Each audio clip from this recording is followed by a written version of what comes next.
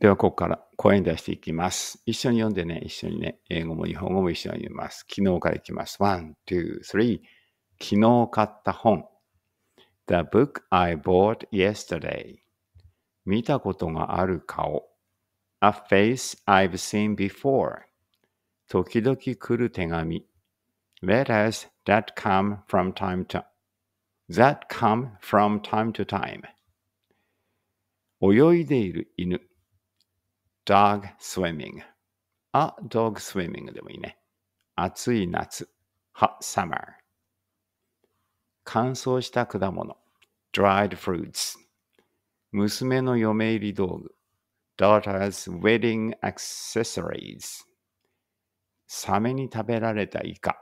squid eaten by shark. 2年前に買ったスマホ。smartphone I bought two years ago. 曲がりくねった道。winding road. 空豆を植えた畑。field planted with fava beans. 誰もが持っている教科書。textbooks that everyone has.